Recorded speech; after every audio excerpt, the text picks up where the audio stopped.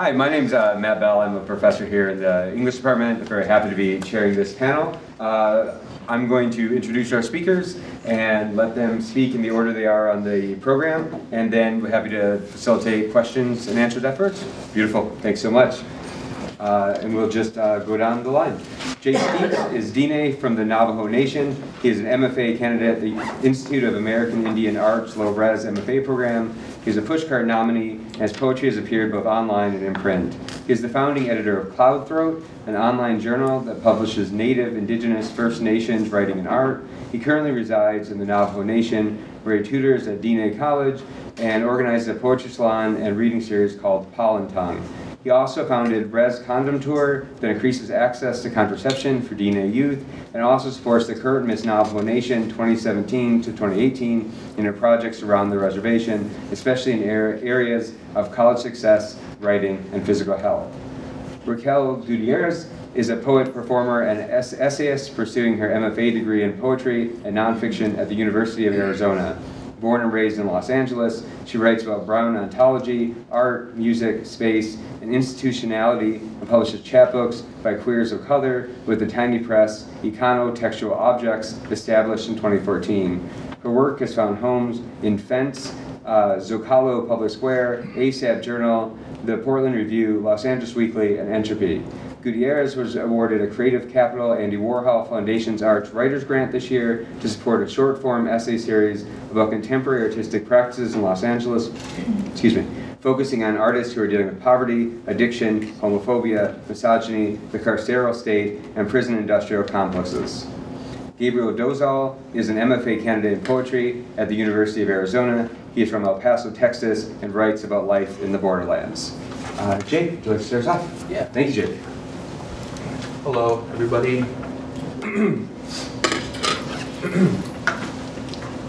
Yate bene ahalana shike shtene doshatka asin go yate.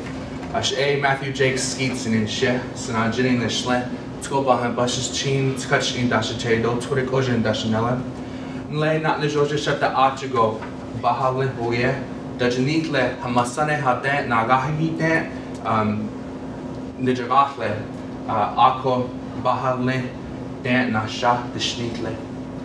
Hello, everybody. My name is Matthew Jake Skeets, though I prefer to go by Jake. Um, and I'm an MFA candidate in poetry from IAIA and the Low-Res MFA program in Santa Fe, New Mexico. I'm also, um, as mentioned, a professional writing tutor at Diné College, which is the Navajo Nation's uh, tribal college um, up in northern Arizona in Window Rock. Mm. Um, I also am an adjunct at Navajo Technical University as well. Um, my clans are Blackstreet Wood, born for Water's Edge, my maternal grandparents, uh, well, grandfathers are red running into water. My paternal grandfathers are of the Salt People clan.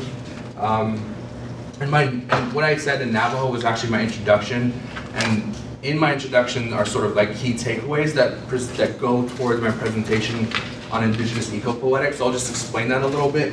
Um, in sort of like Navajo culture, it's it's it's also proper to say where your grandmother is from, only because uh, there are certain relationships that are encoded into Navajo children from birth, uh, much like genetics, and that's my relationship to Bread Springs, New Mexico, where my grandmother is from. So even though I was raised a little bit to the south of it, in Vanderwagen, New Mexico, which both of those communities are a little south of Gallup, New Mexico, on the Route 66 in New Mexico, um, I still say I'm from Bread Springs only because that's where my grandmother is from. And that's where most of my grandmothers, right, so my grandmother's mother's mother, dating generations have been from. Um, so that's what I say there. Um, and so I can definitely sort of date my date generations back to the Navajo Long Walk from all my ancestors within a 50 mile radius surrounding Bread Springs. So I have a very intimate and personal relationship to that land. And so when I say my introduction is my connection to that particular landscape, only because I want to bring that out into the world and share that with people that I'm from a particular place where, where my grandmothers have always been, um, dating back since the removal of uh, sort of Navajo people. And so in Navajo tradition as well, generally when a child is born, the afterbirth is buried in a family's particular homestead um, So my afterbirth is buried in Bread Springs, Mexico, which again is also why I say I'm from Bread Springs, even though I'm technically not. Um, and also during a young girl's puberty ceremony, she bakes a cake, in, also in her homestead, as a, again, as a connection to that particular homeland and that land that she's walking on.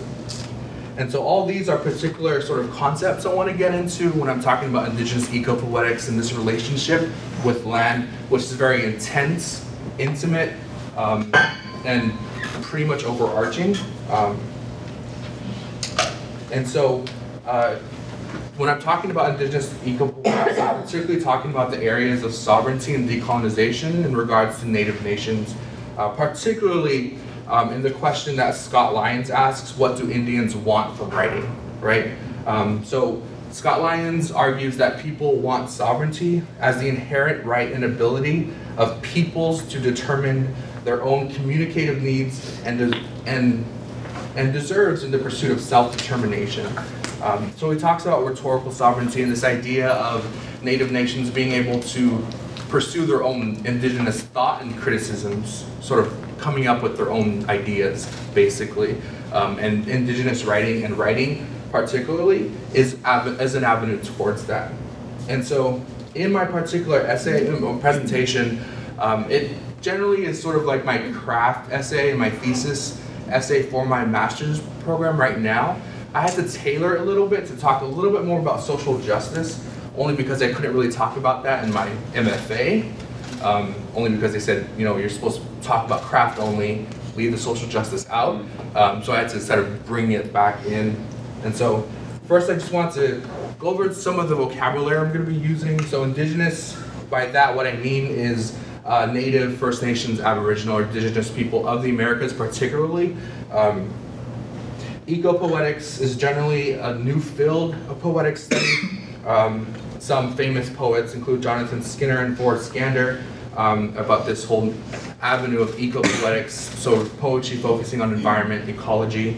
Um, and so when I bridge indigenous eco-poetics together, I'm talking about a critical poetics by native nations that interrogates ecology, environment, land, sovereignty, and self-determination.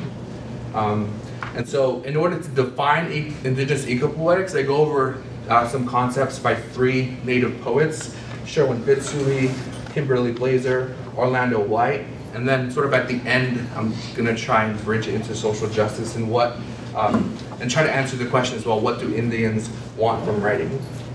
And so, in the first concept by Sherwin Bitsui, he delivered a lecture at IAI called Where the Field Poem Ends, the Field Poem Begins, where he talks about poetic craft's relationship with land and landscape. And so I sort of um, shortened that to a concept called the field poem, um, in which uh, poetic craft interacts with the land. And so, for example, this is uh, the beginning poem in Sherwin Bitsui's uh, collection Flood Song. So as you can see, the word twa, twa, twa, twa, twa, that's sort of right smack dab in the middle of the page in the beginning of this collection. And so twa is the Navajo word for water, which places the reader in this physicality, right? So they can hear water dripping somewhere. Um, and so there's a physical relationship already set up in the beginning of his collection. And so Bitsui talks about writing this poem, coming up with this poem in his lecture uh, of the field poem. And then he also goes over uh, Allison Hedge Coke's uh, collection, Blood Run, uh, which is a collection of persona poems by perspective of plants, hills that surround uh, the native Mound City Blood Run, um, which is now called the Good Earth State Park in South Dakota. Um, and so according to Chadwick Allen, Blood Run's poetic prosody is mathematically encoded to match the indigenous built site. So what that means is um, the poems themselves uh, are matched to the landscape themselves. So Sherwin Bitsui, Sherwin Bitsui talks about visiting Good Earth State Park with Hedge Coke, and Hedge Coke actually read the collection out loud to him as they were walking around the mounds and the mound city. So Sherwin Bitsui was able to see how the poems themselves are able to take shape with the landscape as they were going through.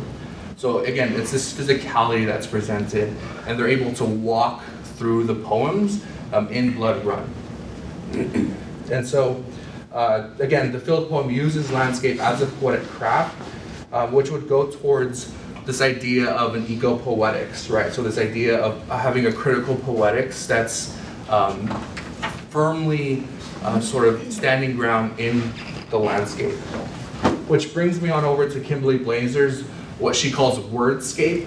Um, wordscape, you know, can be mean a different things today. I think there's an app called Wordscape where it's like a puzzle. Um, but, um, but what Blaeser's talking about in Wordscape is the physical landscape that's constructed by any given English written word. Um, so she talks about revising for energy to poets who want to you know, spruce up their poems. She wants to look at structurally how a word is um, presented on the page and how that enacts some sort of physicality or landscape. Um, so for this, I think about the Long Soldier's Whereas, right? So it's a very acclaimed collection. Um, the beginning poem again, now make room in the mouth for grasses, grasses, grasses, right? So she has grasses three times and she sort of combines them together to have this type of physicality in this landscape of the plains where she's talking about, and that, sort of is driven throughout her collection. Um, so that's what I mean by wordscape, is this idea of creating a landscape with a particular word, which again goes back to this relationship that poems have with landscape. Um, and so this brings me to Orlando White's one word poem. And so at Diné College, uh, Orlando White is faculty there. He teaches poetry. He also teaches the English 101 and 102 classes.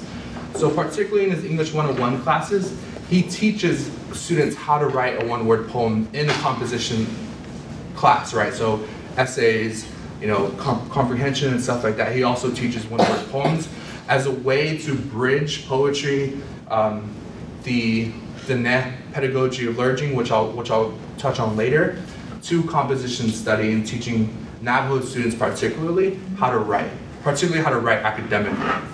Um, and so this is this is his profile picture. Um, it's an ambigram by one of his students named Quintera Yazi. Um, and Quintera and Orlando both gave me permission to use this image.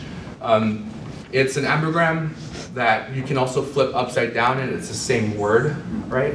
Um, and this is sort of like the, so the Navajo word for hello or good is yate, which I said in the beginning. Um, but generally, if you're not from the Navajo Nation, you kind of had a hard time saying it. So people say like ya, yate or yite or something like that. So this is what Quintero is playing with. And she's able to, again, make language material, make language physical so that she's able to physically ups, you know, turn her paper upside down and it's still the same word. So this is this idea of, again, of being able to manipulate language to create some type of physicality, to conjure up a landscape. Um, and so that's what Orlando White does in his English 101 classes. And so this sort of bring sort of combines all together in the talk about social justice and what Indian, what do Indians want from writing, what do Native nations and communities want from writing um, particularly a material and physical language that they can manipulate. Um, and so, this brings me back on over to Diné College. Um, so at Diné College, it's the first tribally controlled college in the nation. It's right. It's, this year's its 50th anniversary, and they have a unique sort of educational philosophy that's grounded in a Navajo concept called Sa'a Nage um, So what that means is kind of like harmony and balance.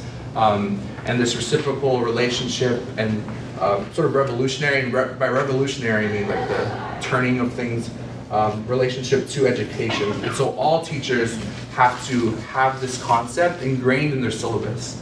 Um, and so when, hopefully I'm going to be teaching there here soon, so I'm going to have to sort of tailor my syllabus to uh, sort of embrace this concept. And so Orlando White does it through his one-word poems and this idea of the Navajo language being physical, being able to turn it around, being able to manipulate it. Another faculty member named Velma Hell um, talks about the physicality of language um, in a very sort of direct way. Um, she, of course, introduces first students to sort of like the militarization of the English language against Native people, right? How English was used as a tactic of war to remove uh, Native people from their lands, particularly in treaties, right? Being able to, Native nations not being able to interpret what English language or what written English language was, um, and also giving them a written language as well. Um, that whole idea of uh, language used as a tactic and aggression of aggression. I mean, um, and so this is the net pedagogy of learning that Velma Held sort of introduces in her work. Um, so first she goes over how English language was used to remove native peoples, and then she goes into how English language can be used as a tactic of native students particularly when learning composition. And so she calls this, uh, you know, well, it's called the circadian rhythms in humans. Um, so generally at 7.30 a.m. is when your sharpest blood pressure rises. Um, that's also the same time that Navajo people are supposed to wake up in the morning so that they're able to greet uh, sort of the holy deities, able to call blessings upon themselves, and then she's able to teach this particular um, process in combination with the uh, with uh, with uh, the uh, the time of day that Navajos are supposed to be doing stuff based on tradition. And so she goes through that first, and then she moves on over into the Navajo holistic approach, uh, which is Again, it's this circle. It follows that same notion of the circadian rhythms. Um, so as you can see, there's different aspects of it. Of um, basically, in the Zaha case, is thinking, Nahat is planning, Ina is life, and Siasen is uh, sort of like this harmony. So she goes through this process with students as a way of approaching then the writing process. So this is what she came up with, right? So pre-writing is the Nasaha case. Nahata planning is the outline format generally that Navajo students go through, or I guess all English students go through, right? So learning how to outline their papers. And then Ina, that section is the writing of the drafts. So being able to actually start writing. And then Sihasen is self-awareness, proofreading, peer evaluation, eventually publishing if they want to go that route. Um, so she follows this format as a way to go through English composition and composition studies in her particular classrooms. And so, when I talk about um, Native nations and what they want particularly from social justice, um, is this whole idea again, right, of reintroducing the English language, but from but on the terms of Native nations particularly. Um, and so when, when we talk about this physical landscape that's introduced, both Orlando White and Velma Hale ground the students first in this sacred space.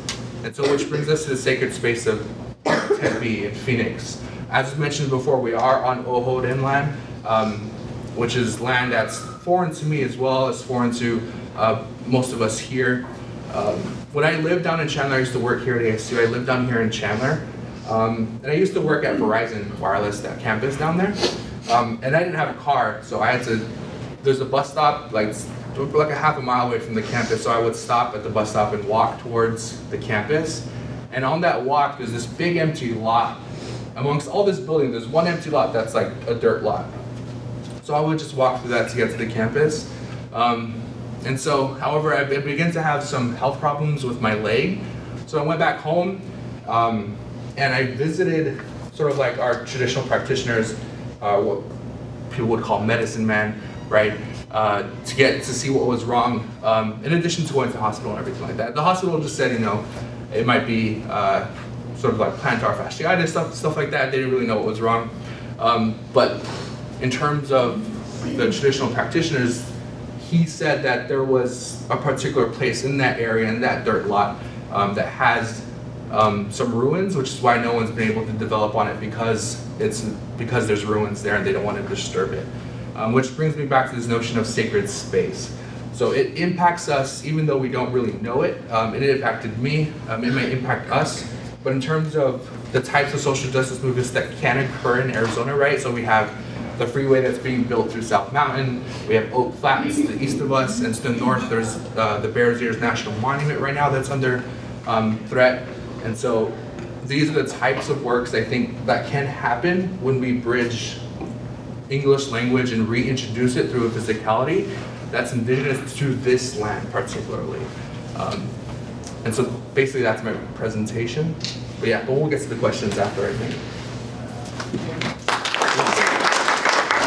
All right, um, hi everyone. So I'm going to read a uh, work in progress. It's an essay um, that I titled sort of uh, quickly, I pledge allegiance to this flag, uh, Arivaca Riding with Humane Borders, but um, if this is ever going to see any sort of um, publication platform, I will change it. Okay, because I don't like that title. Uh, All right, um, so anyway. Uh, I have lived in Tucson for 18 months now. People from near and far tell me they love the images they see in my various social media feeds of this mysterious, moonscape-like desert surrounding Tucson. Many of my followers live along both coasts, so of course it gives me great pleasure to be able to ignite in awe for the uncontainable beauty of the Sonoran Desert, even if it is from afar. For me, being in this desert on any given morning or early evening means being given over to the expanse of possibility the landscapes offer. It has been the way to get new perspectives when stuck on a writing project, to step out into any number of trails and parks that surround Tucson and take it all in. Whether it's the way the light moves across the shallow valleys of Gates Pass before sunset, or the way the temperature surprisingly drops 10 degrees when your trail takes you into the shadowy parks that sit below Pima Canyon, the infinity of surprise that lives here is hard to deny. But as 110, 112, 115, 117 degrees becomes the new normal for southern Arizona, indicating a climate change that may not be reversible in years to come, there is another, one, another thing one cannot deny. Any slight carelessness on your part and the desert will kill you. That fact made itself clear on a recent ride-along outing with Guillermo and Steven, two volunteer truck drivers for the Southern Arizona organization Humane Borders Fronteras Compasivas.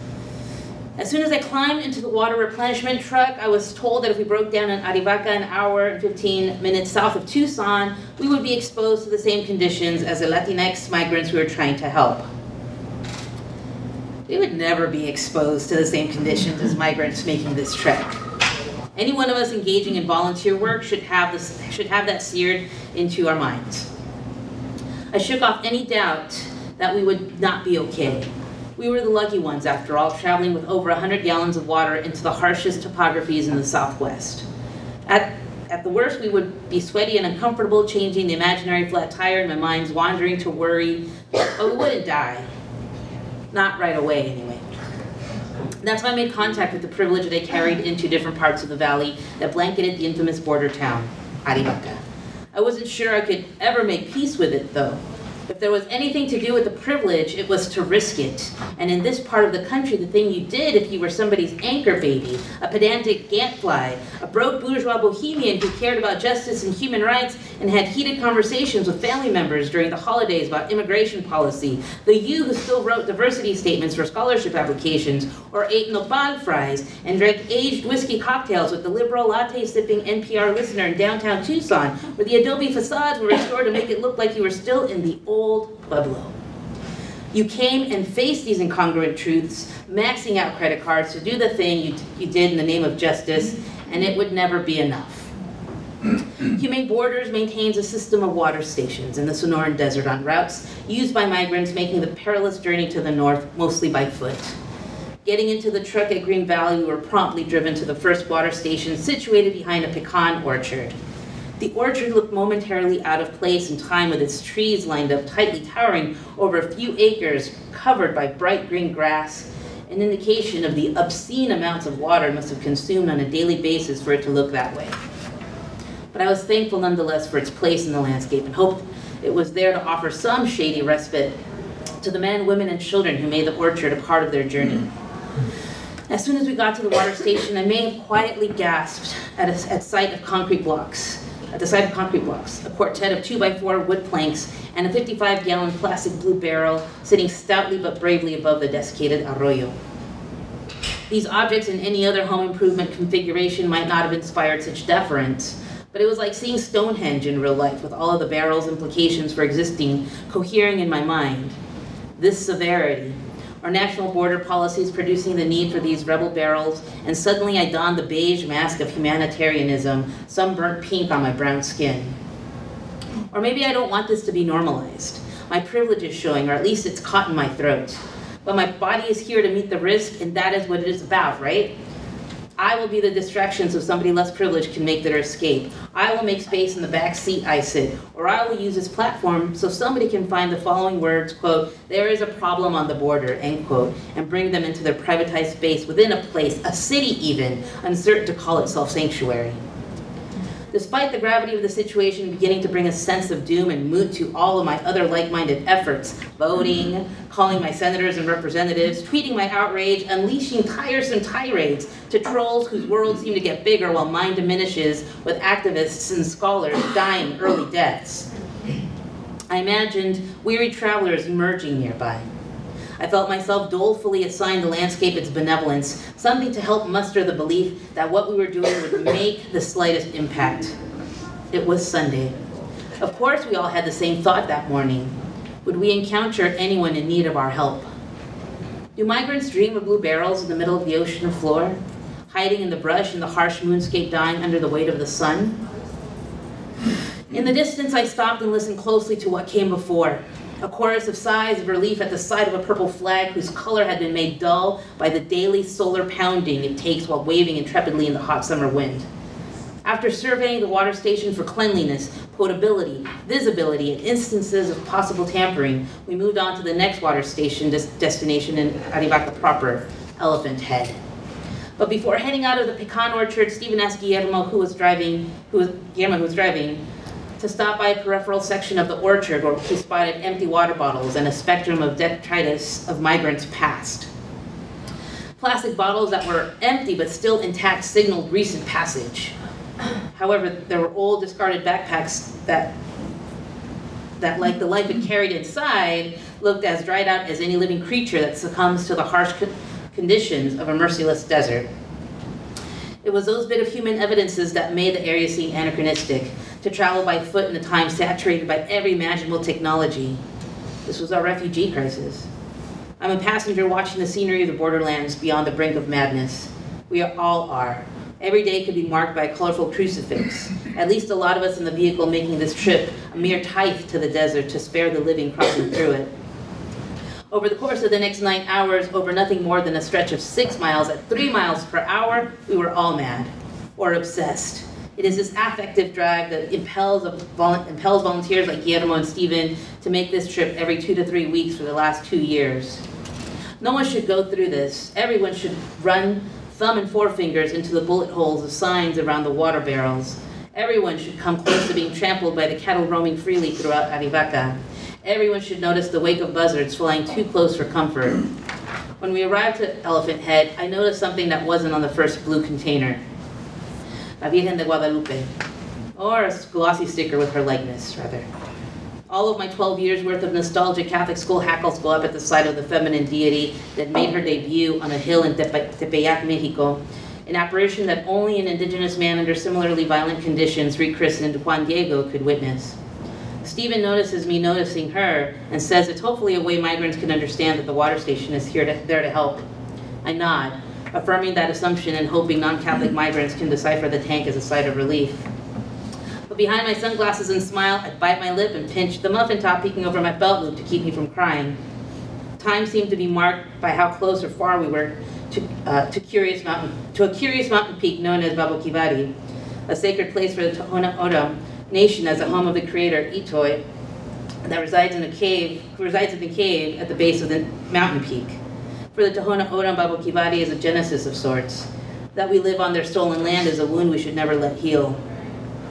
Throughout our ride along, Guillermo would stop for all of us to take in the scenery, snap photos, and stretch our legs. It felt like Baboquivari was looking out for us as we did our best looking out for others. I touched my own ancestral amulet in my pocket, a piece of black kyanite with protecting energies. Our guides always get asked what happens if we encounter a migrant on these trips, Stephen says simply, a migrant is to be given food, first aid, and water. As the morning progressed and the sun's rays intensified, I felt a sweat pooling in and around my body's various concaves and then disappear. The desert was taking its rightful tithe from, of moisture from me. We snacked on sweet baby peppers and threw the ends out the window, to which Guillermo would say it would be a few hours, cuffs, before the desert consumed our biodegradable trash. We could all be untraceable, And it would be so easy here, traversing Arivaca's deserts, vein, desert veins and arteries. I started thinking about the ways in which the untraceable is made evident, or how the migrant's journey has been represented to me throughout my life as both reader and writer, as well as a 1980s child of Latinx immigrants from El Salvador and Mexico, and the one in the here and now, the adult child. In prose, we have writers like Ruben Martinez and Reyna Grande rendering the experience of crossing over, their portraits of others or selves desperate to reunite with family in the North, all of whom in various pursuits of better economic stability. As a reader, as a reader, uh, these literary voices have meant finding the language to illustrate the ways these migratory traumas continue to haunt families, both constituted by and torn apart by humane border policies. When my parents' migration took place in the late 1960s and early 1970s, they were essentially crossing an imaginary wall with nary an agent policing those boundaries. Dare I say, they came to the north in the innocent heyday of border crossing on par with the episodes of The Brady Bunch or the golden age of border lawbreaking. And here in the paper is a link to um, that scene in Born in East LA. I don't know if anybody knows the, that film, but it's Cheech Marin. And he's overlooking the Green Hill, and down below, it's the um, Border Patrol truck, and two guys that are just kind of like, oh, we, you know, we see the, the, the, the wet, right? Uh, about to come, so let's just take a nap while by the time he comes down, we'll, we'll nap him. But as like they fall asleep, um, Cheech Marin, who the premise of the movie is basically he's a Chicano from East LA who is going to pick up his cousin at a factory in downtown that ends up getting raided, and all the workers get deported, and he gets mixed up in the uh, in in the in the sweep. So he is a Chicano um, from East LA who speaks nothing but English and uh, has all of the um, makings of uh, you know American American pop culture um, ends up in Tijuana trying to figure out how to get back. And as he's in Tijuana, his um, consciousness becomes sharpened by the border policies that he sees people um, that are just like his family members trying to like cross and make you know a better life for themselves. So in the scene in which I linked to the YouTube, um, it's him uh, at the top of the hill, and then suddenly this whole like group of migrants um, come and. Uh, and then Neil Diamond's They're Coming to America starts playing, and then they like just like um, launch down the hill. It's pretty amazing. And for all you meme makers, it's like uh, that picture. It, it's like perfect. Like for me, it's just like that feeling when you know your Chicano priv- U.S. privilege has to be in service to those that don't have it, right? So you don't know what a meme is? Find a young person to explain it to. so, or the golden age of border law breaking when detention centers meant nothing more than a bus ride to Ciudad Juarez or Tijuana, while Los Tigres del Norte sang earnestly about contraband and betrayal in a drug deal between lovers gone wrong. Oof, okay. But in the desert, the migrant's journey is represented to itself and to strangers like me who witnessed representation, making the experience of being here that much more urgent. Oh man, just that on the level of the of the sentence. I'm sorry. Take the work of artist uh, Alvaro Enciso's monuments to fallen migrants, for, uh, for example. These colorful crosses affixed to, to the coordinates that mark where a migrant lost their life during the journey through Arivaca and other parts of southern Arizona. Seeing these crucifixes made unique in color and metal details and complementary colors in their intended habitat allows the spectator, whether another migrant or border agent or someone engaged in humanitarian aid, whatever the hell that means, a profound empathic encounter that enables a communing with the recently deceased while bringing to the minds for the realistic circumstance of future migrants dying in the desert nearby. It is these kinds of artistic representations that operate as both homage and reminder that we need to we need each other to get by. We need each other to remember. We need each other to witness. Being out in Arivaca as we traveled at three miles per hour towards the water stations at Rocky Road, Cemetery Hill, Soboranes, and the last station closest to the Mexican border at Martinez Well, as the mesquite trees like night sky constellations took every shape possible in each of the landings we stopped in, I kept thinking of the work by Salvadoran poet Javier Zamora.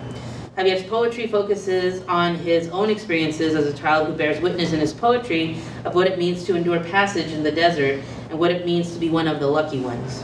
As we checked for the frayed flags and water levels at each stop, I thought about the young man named Chino remembered and made flesh again in Zamora's poem, Second Attempt. For Chino. This is Zamora's poem. In the middle of that desert that didn't look like sand and sand only, In the middle of those acacias, whiptails, and coyotes, someone yelled, La migra! And everyone ran. In that dried creek where 40 of us slept, we turned to each other and you flew from my side in the dirt. Black-throated sparrows and dawn hitting the tops of mesquites beautifully against the herd of legs. You sprinted back towards me. I jumped on your shoulders and we ran from the white trucks. It was then the gun ready to press its index. I said, freeze, Chino, para, por favor. So I wouldn't touch their legs that kicked you. You pushed me under your chest, and I've never thanked you, beautiful Chino, the only name I know to call you by. Farewell your tattooed chest, the M, the S, the 13. Farewell the number, the phone number you gave me when you went east to Virginia and I went west to San Francisco. You called twice a month. Then your cousin said the gang you ran from in San Salvador found you in Alexandria. Farewell your brown arms that shielded me then, that shield me now from La Migra. Thank you so much. Okay, so um, I'm going to read uh, about 14 uh, sonnets um, in a project I'm working on called uh, the Border Simulator. Um, and there's also uh, there's a, a, not so hidden meme within those poems, um, kind of like transitioning from, from what Raquel was talking about. But uh, a sort of a quick introduction. Um, I was born in Alpine, Texas, and raised in El Paso. My grandparents came to the border region in the 40s and 50s. I've spent my whole life around a spectrum of border crossers. Second generation, third, fourth, and people who just came over. I also lived in Washington, D.C. for a few years, and I was fortunate to befriend Salvadoreños, Hondureños, and other Central American friends who had recently crossed the Arizona desert looking for a better life. In my poetry, I explore how my family and friends crossed and how they assimilate or don't assimilate to a new culture. Just like in any border town, there are parts of El Paso that feel like Juarez, they feel like Mexico.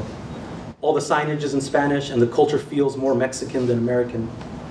I'm interested in exploring these spaces and complicating narratives, common narratives, stereotypes, both from the American side and from the Latino, Latinx side, of what the border is and what it's like to cross and or live in the border region. Uh, so I hope that this device, the idea of a machine that is a border simulator, allows me to impart an experience of border life. Um, and what I'm about to read is called just the Border Simulator Sonnets. Uh, the second poem I'm going to read is not, is not a sonnet, but it's still uh, within the project. Okay, so um, this is called When You're Lost in the Rain in Juarez, and it's a simulation too. the border simulator is stealing your children, okay? This technology is a bolt hole for those trying to cross. We'd rather you not cross, stay at the border, get fitted for a headset, see all the construction sites you want. We created a border where every day feels like dialing nine, then one, and then letting your finger hover over one. Nobody dies anymore, they just continue life in simulation. But you have to sew seatbelts or paint murals there.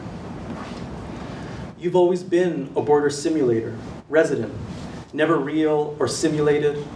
And the crossers see that you're not real or simulated, and they're not sure if they are a mural of rural crossers. You simulate what a person with papers would say, would act like, so that you can cross over. Your accent is hard to understand.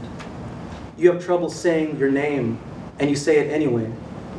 Customs are suspicious because you can't say your own name. So they take you in and make you paint murals of crossers at the border. The murals warn the crossers of what might be waiting for them, the unswerving field called future. All day, you're painting in the border simulator, portraits of crossers, and their portrait is just their face, covered by a phone. You paint murals of crossers going into the simulation, their faces also covered by their phones, but you can see their eyes, and they're scared of crossing. You ask them to pretend there is water, but they can only pretend there is water so long. After your service to the simulator, you're trying to figure out how to traverse your words, or the simulation traverses you. This simulation is not a question of fake or, or reality, but a performance of saying your name. If the simulation survives, you also survive, and you keep it alive by crossing. The simulation exists because you cross into it, and you love the threshold. When you speak of the border simulator, you're really speaking about how dollar signs can open up a whole new world of crossing. You go to the front of the line, Customs ask you less questions. In simulation, you can pay off the policia. It's harder to do that in reality. But it's not the result you want, and the simulation is a results-based game. When you speak of the border simulator, you're really speaking about X, where the two worlds meet, and there is an X on the border. Okay, now back into the sonnets. In the border simulator, your ceiling is your floor. You realize the simulation, your simulation, depends on what side you're on concerning the crossers, and who gets to pass the algorithm, letting cross what was suggested. We can only pretend there is water here for so long. We synth what we think will be like after we cross. This is where they ask you about our mascots and our trips across the bridge. But you have always been this resident, the end of the bridge.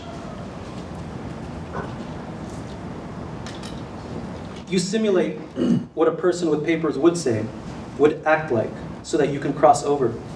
The skills you had to master to cross. You had to spend a lot of time locked in. You have family in reality too.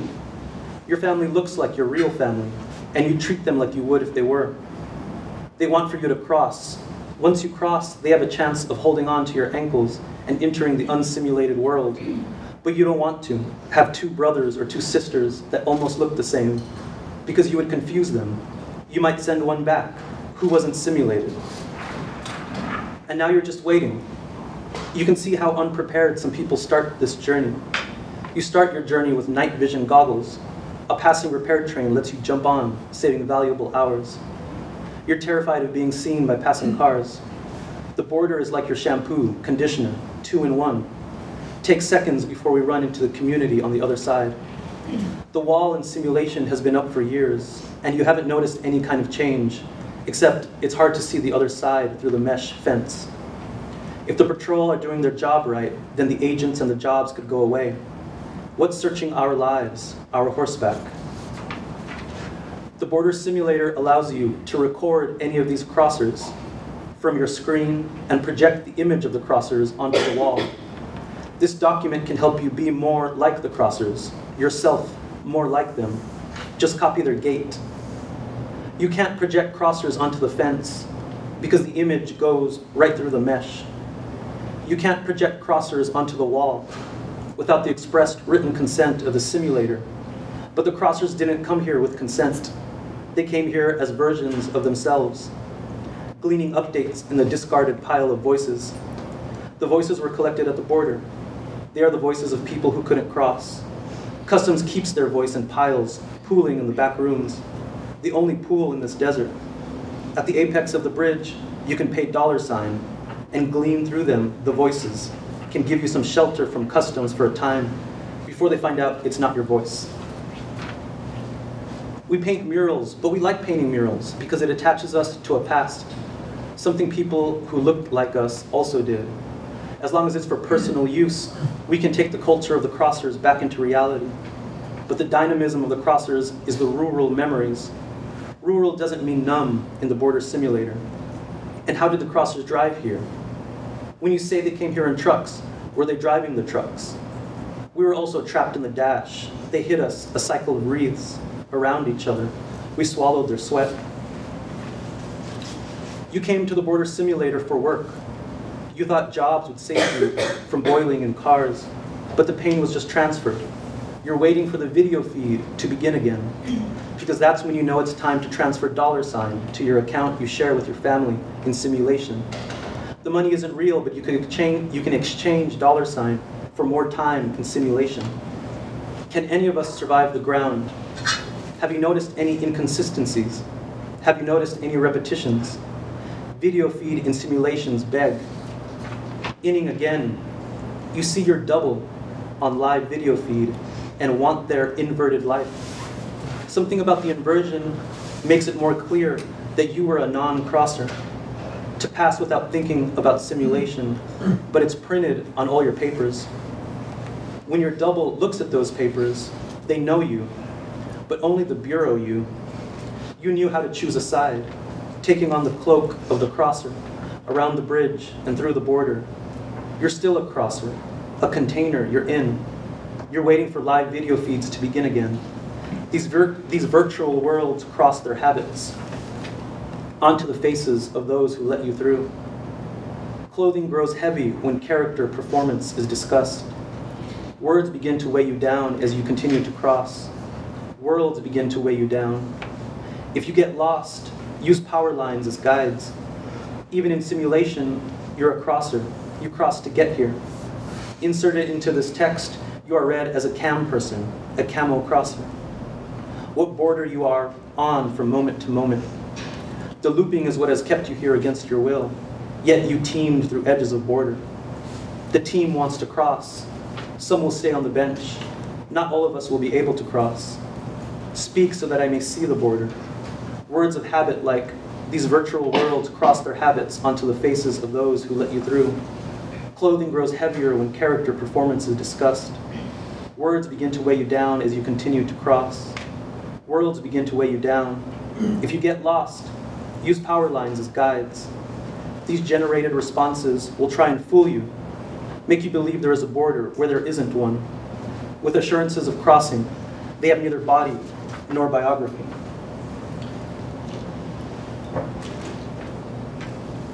Hombre araña, pointing at hombre araña. Do not resist arrest. Dialogue's restricted scope. Better to be detained than be lost in the simulation. Refuse to make a declaration or sign documents. Blurring the distinction between crosser and the best formula is to not alter your routine at work or at home. Synchronize sound recording. If a fight breaks out in a bar, leave, for in the confusion you could be arrested, even though you did nothing. The simulation needed lag. Border waits on the traffic webcams. Contact the port for lane manipulations. The bridge toll and when to avoid the border. Traffic crossing the border's weekend. Days off, you head to the border. We're in the middle of the desert where they said that he had crossed. You look for him, but you hope it's not him. You don't know where you are except the desert. You can't just leave the simulation behind, it follows you into your waking life. In the border simulator, the backpack smalls your shoulders. You've never been identified. You fought hard for a type of life that is no longer in vogue, but it's the vogue of where you're from. You're not popular and are decried as dirty and unwanted. The fence is easy to cross, but your thoughts aren't. All we have is a circular order of simulations. America's cultural parts calendar, the 8-bit desert. You're a U-shaped band to these people. Pattern grid and canals made human-linked deserts. Just hold another's hand and you're there. You collect wanderers and trade them in for water. You have bells on your cheeks, but you still escape patrol. The border doesn't return till much later. Evening simulation everywhere. Only the crosser warbling at the bridge. They're playing loteria with the banda. Border, the souvenir of the word that gets repeated over and over. Where did all the answers go to the border test? Will you or won't you decide to go back into simulation? Pictures are developed to instruct the crossers. They're waiting every day for you to play the flute and cover their breath holes. In, in the simulation, we need jobs so the borders are lax. But once there's enough jobs, the guards at the emulator will let less and less come through. You can't remember where the bridge is located. Well, there's a free bridge and a pay bridge. The free bridge, you have to wait for hours and hours. You live here, so you know. The algorithm used in the border simulator makes you understand yourself better, but not crossers. Why are you crossing? As a tourist? As a worker? Residents are temporary in the border simulator. They come looking for your accent, but you hide it in the sleeve of your jacket and take it out when you need it. Tourists and visitors are temporary. You, crosser, are the only constant. Thank you. Thank you all so much. It's fantastic all around. I really appreciate that. Uh, we have uh, seven or eight minutes for questions, uh, so I'd like to open the floor right now. If people would like to ask something. That was so interesting. You must have questions. I don't have a question, I have this sort of connection. I mean, you started off, um, Jay talking about eco poetics, indigenous poetics, and we have these poems of landscape of the borderlands, and just dying to hear somebody make comment about how, how, uh, pedagogy or the idea of indigenous eco poetics might be a lens on this creative work or how creative work. Uh, Can anybody help me out here? Answer the question you wish to have been Great asked. question. I can't do it, I can't ask a great question. I mean, right now, right now, I think there's a lot of poets right now who are doing the work, um, particularly in the issues of migration and the border. Um, particularly writers of color. Uh, I think a lot of them are doing work in terms of really the only work, right, that's calling on this idea of landscape and ecology, environments, and climate change through a poetic lens, a, a- a rather critical poetic lens, right, which is sort of breaking away from the normal conventions of what American poetry is or modern American poetry, and sort of coming up with this whole new genre or whole new school of writers who are taking on that that work of the borderlands and being able to really understand how landscape shapes language um, because it's a really intimate relationship and that's what I want too as well as this this language and this poetry that has an intense relationship as I have to landscape um, that has an afterbirth that's buried in the land. Um, that's really what I'm calling for and that's really what I'm interested in. And you know works like Javier Zamora are really interested in the idea of becoming part of the land and crossing this imaginary border and I think it's really interesting and great to see.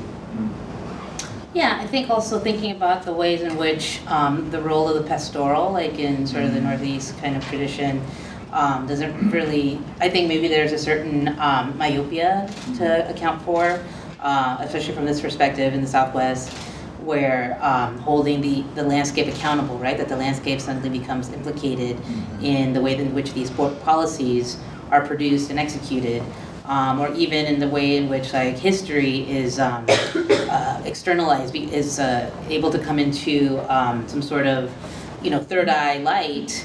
Um, even taking even uh, when you think about like uh, I remember like going this road trip to Wyoming with uh, with my girlfriend and seeing Heart Mountain and being really struck by Heart Mountain. And then just being like, oh right, this is Heart Mountain. This is like the site of like a internment camp right? And the fact that Heart Mountain had witnessed all of these like atrocities, right? That like the landscape, that nature is somehow always present and always there in ways in in, in ways in which we um, understand the way frontier was become became become state, right? So, and I think um, trying to kind of get into those threads. Um, you know, I think just even the, the, the writers here were sort of shouldering the burden of our ancestral tradi- our ancestral histories and and even like more recent uh, uh, genealogies that those um, our, our, our, our family members have been impacted by the way um, they've had to cut through you know the weeds the reeds the water Yeah. so I think um, like the, the landscape I'm concerned with is that that mental or psychic landscape of border towns, but specifically where I'm from in El Paso, because um, I, I grew up going to see my cousins in Juarez, and then going coming back to El Paso and going to school in El Paso, and you know switching between those two those two worlds and those two mindsets. And I think that's where the idea of a simulation or a simulator allows me to, to kind of explore those those worlds. Um, yeah.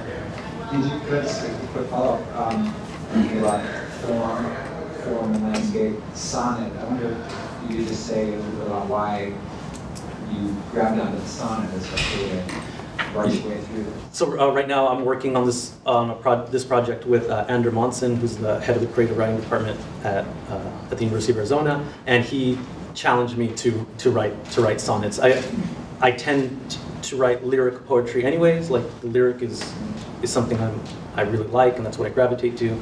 And also um, before this, my pro- the the poems were getting really long and kind of just out of out of control, and he kind of just challenged me to what if he just kept it to like 14 lines? I mean, that's really the only thing that's making these sonnets. Sometimes there's like 10 syllables, but mostly it's just, mostly it's just yeah, right, right, yeah. Mostly it's just like it's 14 lines, but no rhymes yeah, yeah, no, 14 lines, not too many rhymes, but uh, but yeah. Please. I um, am so interested in this idea of eco-poetics, especially in terms of thinking about um, occupied named lands and how those lands are framed as empty and always already dead by folks who are trying to accumulate capital out there. So that the landscape is literally rendered dead via its transmutation into capital, right? Capital will be harvested through resource extraction, or capital that's literally blown up when the weapons are tested out there that pollute the land with uranium. Um, so I'm wondering, like, what you see as the role of like an eco poet warrior in terms of getting this sort of idea out that the land is alive, as well as the people who live upon it, who are deeply impacted, you know, by this ongoing environmental genocide that is occurring in these areas, where people are made desperately sick by these regimes and governments, you know, so like how do you get that poetry moving to actually challenge some of this stuff? Yeah, I think, uh, thank you for the question. And in terms of uh, sort of like the role of the poet, I mean, right now they're almost, I think the last count, because me and one of my colleagues from IAI, uh, Manny Loley, we're working on sort of like a database of Diné poets um, who are working right now currently. And right now the list expands. I think it's 40 plus poets right now that we know of who are Diné, who are working in poetry specifically. Um, and in terms of eco-poetics, each one of them, even though they might not call themselves an eco-poet or a persona poet or anything of that nature, they're still, their work is still anchored in the landscape, particularly the Navajo Nation where they come from. Only because, again, we have some type of intense, um, unconscious, or conscious relationship to the land, whether we know it or not. Um, and so, right now, the work, I think, is the, the goal I think is getting that put into the national conversation when we're talking about like right now with Bears Ears, right? Um, I read an article about Bears Ears and then they talked about Sherwin Bitsui's work in that particular article, right? So when we're talking about uh, rhetorical sovereignty or sovereignty of native nations, particularly in sort of like a mental landscape, um, when those conversations are brought to the national spotlight, so are the native and Diné and indigenous thought processes accompanied with that, right? And so those are put on a pedestal and those are questioned and complicated and criticized. And so therefore we're beginning to have this sort of churning of thought based on indigenous thought. Um, and so that really I think is sort of the goal, is what I see particularly. Um, and so right now, I mean, I can definitely applaud all the Diné poets right now who are currently working, right? So we have Laura Tohe right here, who's a Navajo Nation Poet Laureate, um, working at ASU. There are tons of other poets right now here at ASU. Natalie Diaz is also not Diné, but she's a native poet. She's working on faculty here. Kyle Wilson, um, Simon J. Ortiz, Bojan Louis, all faculty here at ASU who are native um, as well, working towards those types of goals on being put into the national conversation in regards to the landscape um, and the land and ecology. I think we're actually out of time, uh, but thank you all very much. Thank you three. Fantastic.